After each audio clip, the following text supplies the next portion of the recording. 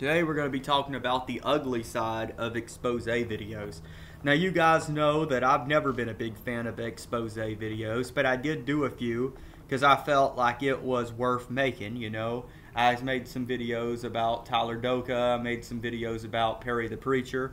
Um, and if you go through my channel, you'll notice that I actually deleted a lot of those videos uh, because I felt like my channel was just becoming tacky and I don't want the heart of my channel to be expose. I want the heart of my channel to be Jesus Christ.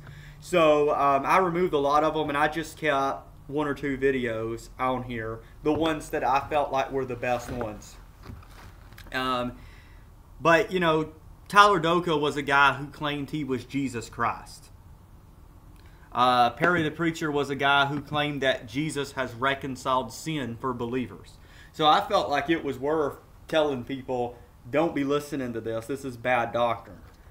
Um, so that was my reason for doing that. But there is an ugly side of expose, and it, it, YouTube is a very ugly website. You know, for people to be mean to each other. Now, so we're going to talk about at least three different types of ugly expose videos.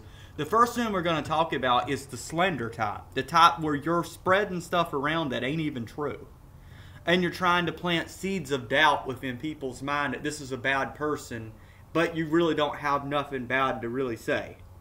All right. And, uh, you know, don't be surprised if you see a cat in the camera because he's sniffing around my Chromebook. But anyway, um, caused me to lose my train of thought, kitty. Anyway, he had a tick in his nose a while ago, or some kind of bug stuck up his nose. But anyway, um, trying to think of what I was trying to say now. So slander, okay? So there is a lot of types of slander out there, but I'll give you an example. There was a um, there was a uh, girl who was um, basically she got murdered. All right, she was a YouTuber who got murdered. Now I ain't gonna go into detail who she is, uh, but anyway, some guy or some woman, I'm not sure, started making videos about her after she died, claiming she was secretly a boy. She was secretly a devil worshiper. And um, when you look into these accusations, they were all lies. And it's like, who does that? I mean, this girl was murdered, and somebody's going to go, she can't even defend herself, and somebody's going to go and make up lies on her and say she was a boy? And it's not even true? Come on, kitty. Come on, buddy. Don't do me like that. Anyway, uh, sorry. Um, I'm the father of a bunch of kittens now. But anyway, um, they keep making me lose my train of thought. Sorry about this. Um, so that's one type is slander. We should never be spreading anything on the internet that is not true. Um, the second part of all of this is um, when people are hypocrites. You know, they're trying to expose somebody for something they're doing.